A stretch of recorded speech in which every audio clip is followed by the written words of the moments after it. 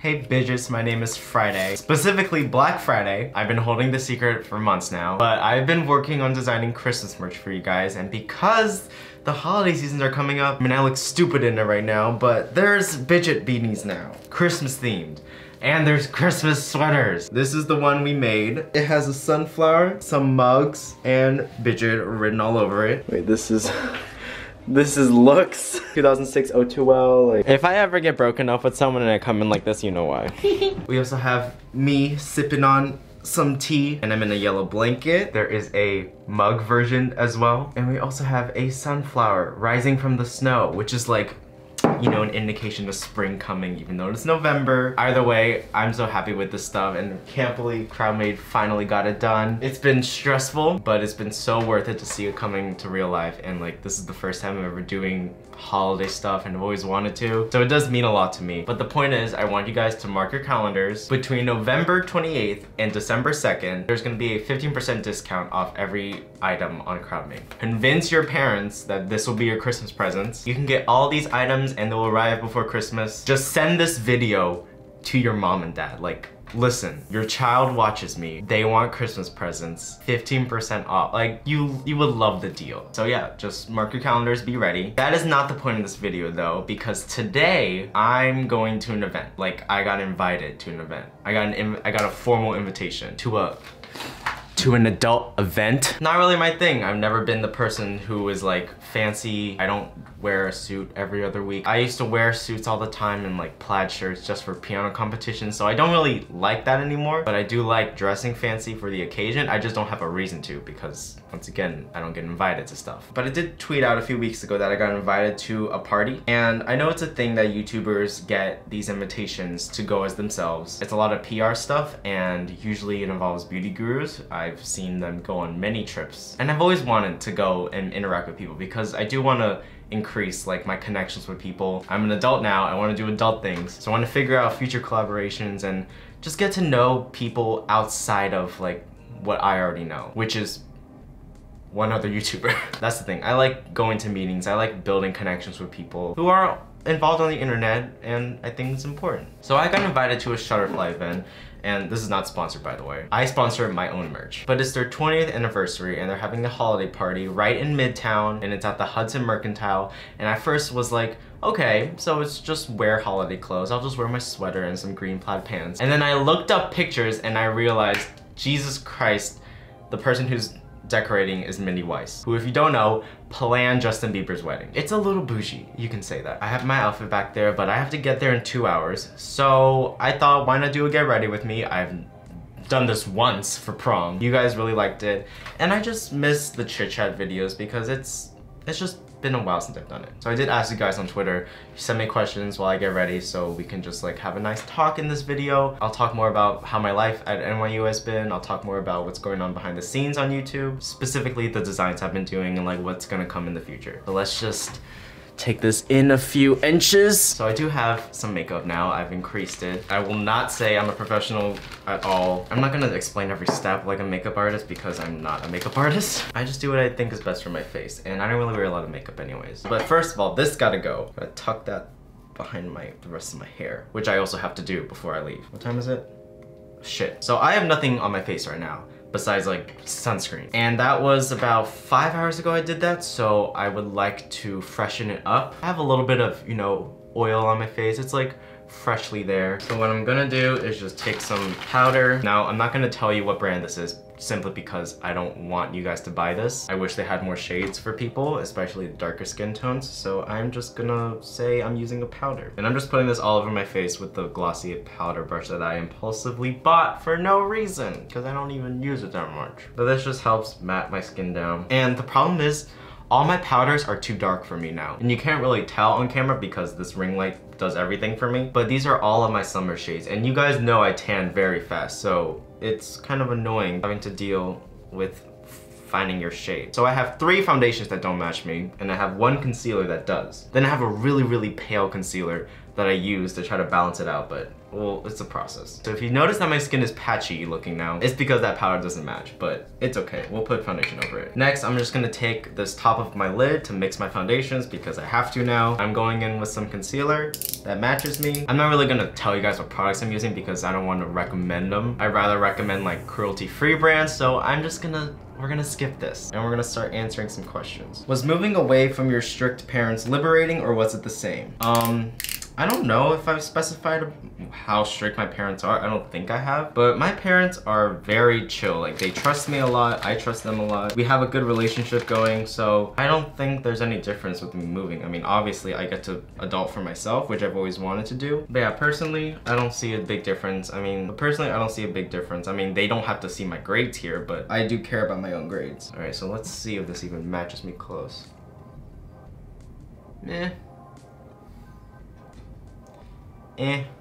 Sort of. I'll just blend it down my neck if I have to. So yes, I'm just gonna put this all over my face. And then, because I don't believe in beauty blenders and this has worked the best for me, I just rub it in with my fingers. Any video ideas that didn't work out slash were never released? There's been like, I think five videos that have never been released because one, I just didn't feel like it was a good video and two, the video itself got corrupted. Like when I'm editing a video and I realize that like, oh, I did this in a rush, like I was, I wasn't on time, I just won't upload it because I want want you guys to have, you know, good quality videos. I think it's important to give you guys that. And the videos that I've cut out, that was more like back in high school before I really cared about YouTube. I used to be like, I just need a video out this week. And now it's, I want to give good quality content to you guys. And I think it works. Like we have a really good relationship. So I'm gonna take my beautiful off-brand $2 blender. You guys understand where I'm coming from whenever I say I can't upload because I have family things to do. I have to hang out with a friend I haven't seen in a while. You guys understand that and I try to update you if I don't happen to do a video each week. And that's another thing I really appreciate about this platform. I know a lot of YouTubers don't get away with that and I'm just one of the lucky ones. I don't know why, but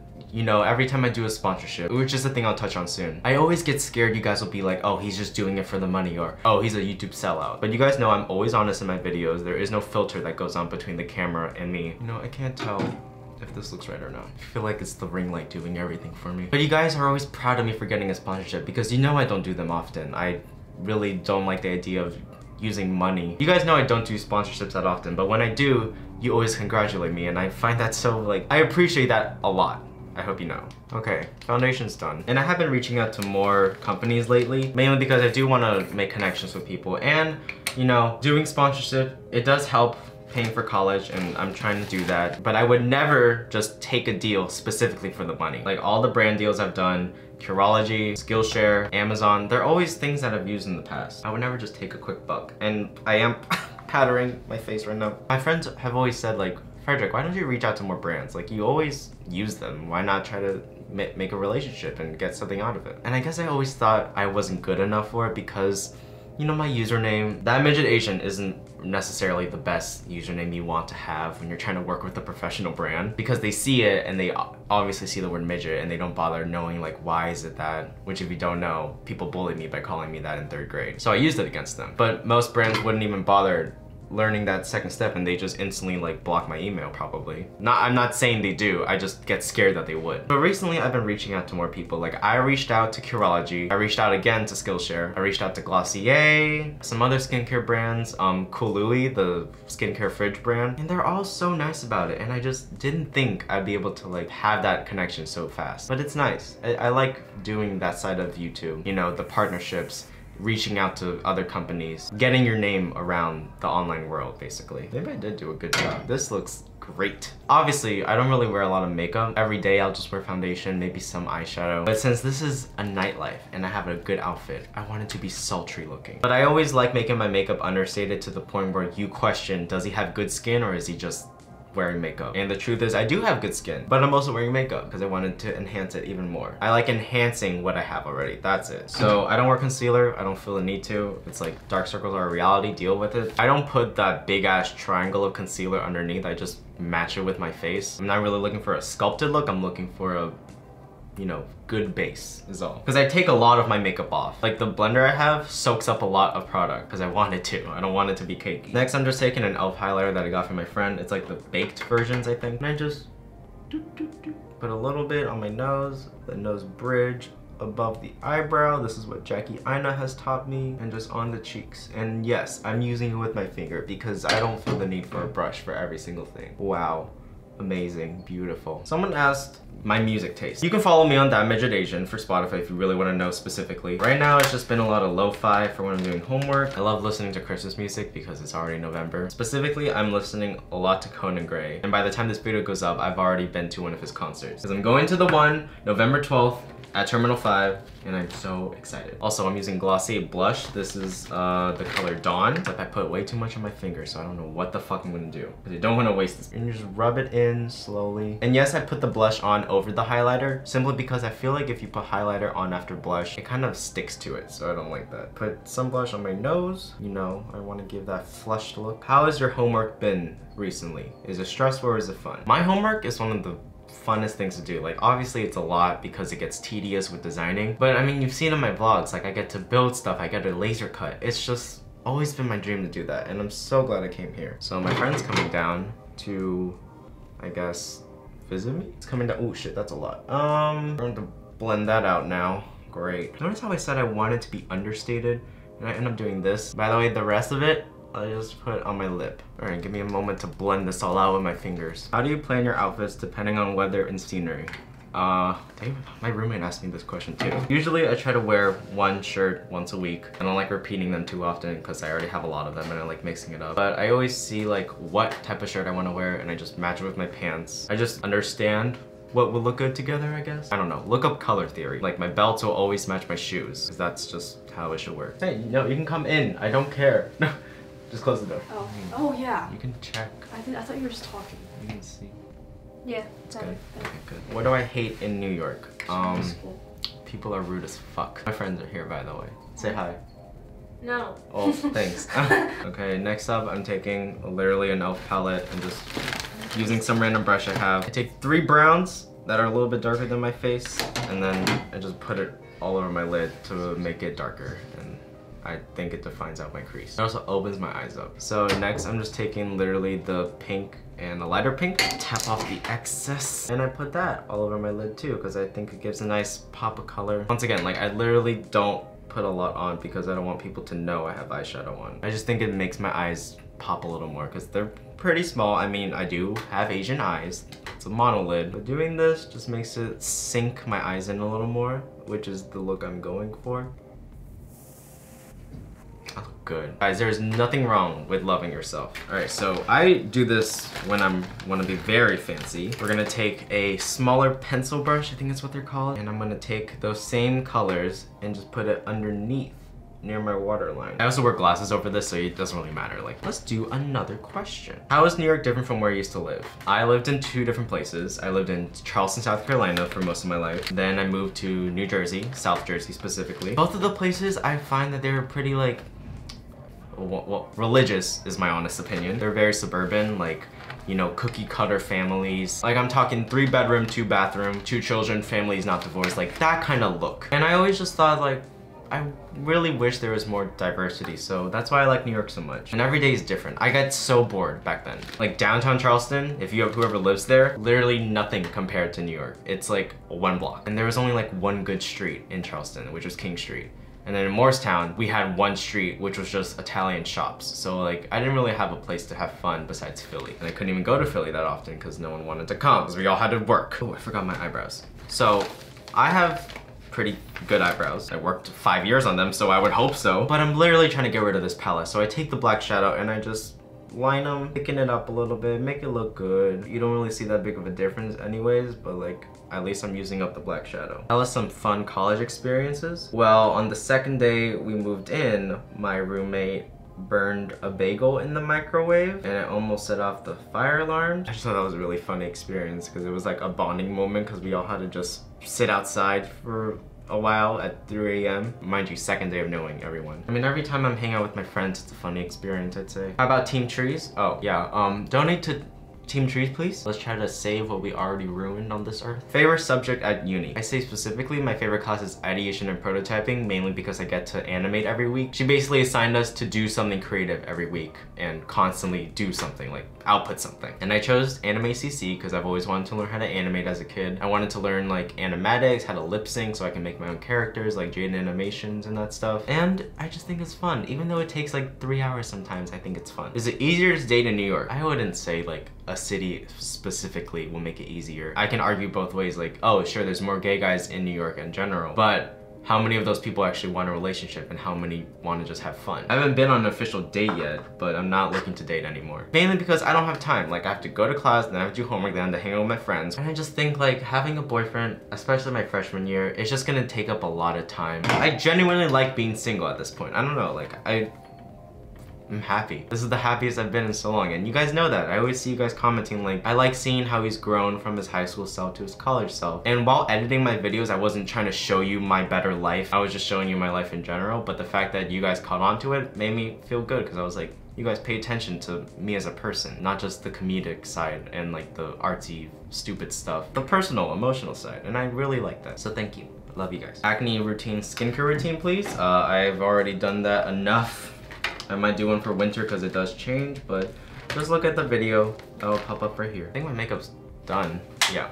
I look good. But I looked good before all of this too. Oh, I forgot chapstick. Because winter is coming. Uh, uh, uh. Do I keep little snackies in my pockets when I go out? Um, well, when I go to class, sometimes I don't have time to eat lunch. So I always have sour gummy worms on me and a bag of chips. So what I really wanted to do for my hair was like not do a man bun. Because I know like the man bun is typically hipster and oh like he's a mountain climber who does photography. That stereotype. But yeah, like I wanted my hair to be sort of a swoosh. Oh my god, it looks so good right now. Damn. Yeah, it, it is brown. Oh, I did get piercings by the way. People keep asking like when I got them. I got them a month ago. But I wanted to be like slicked back and wavy and swoosh. I didn't want full bang like 16 year old Fred was. So I'm gonna test to see if I can make something happen, but I don't want to record it really because you won't be able to hear me. Like it's just gonna be the hair dryer. So I'll be right back. Okay, so I just wasted like 15 minutes of my life because I look the same. I don't know how to style that hair, but honestly, it's okay. My friend says she likes the man bun more because it looks more like sleek and professional. You know, like I did this and I can pull it off and you can. I'm already getting oily. Oh my god. Slow down, please. And I'm gonna put on one more light layer of powder. Now, outfit time. So prior to this, I did not think I would have to bring my fancy clothes to NYU. I don't even have any fancy clothes either way. I had one tuxedo that barely fits because it was in eighth grade that I bought it. So I had to buy some new stuff, which is an investment, but like you're gonna wear this stuff for the rest of your life, Frederic. Get used to it. You guys know I don't like dressing fancy. I like dressing preppy. So because it's supposed to be holiday themed, I try to keep it simple and sleek. But we have a black button up that has this weird flowery print that I really like. We're gonna match it with a red bow tie. Some black pants that are skinny. Some flaming red socks along with these shiny black shoes. So I'm gonna put together the whole outfit and I'll show you the final product. And this is the final look. Shiny shoes, red sock, black pants, cute button up, red bow tie, good glasses, good makeup, good face, good attitude. And like every YouTuber, I'm running late now, so I do have to go. I'm going to vlog the experience so you get to see what going to an event is like because this is my first one too. I don't know what to expect. But if you enjoyed, guys, if you like, leave a comment down below and subscribe for more videos every Saturday. Get ready for holiday merch. It's coming. And I love you guys and everything is less than three. Okay, now let's go see Maddie father. Hi. Hi. You look snazzy. You're like dad and mom. oh, you're that's, recording. that's the analogy. Yeah. oh. Wait, you yeah. ready? I'm ready. You ready? Yeah. No. no. Did you go to Uber? What if there's like no one? It's not fancy. I mean, if Mindy Weiss is there, I, I, just, I, I don't know. I get paranoid. Like, what if, what if we get disappointed? Never mind. Hello. I saw you. You're This is so nice. Oh, there's wine. We can't have that. Want a toast?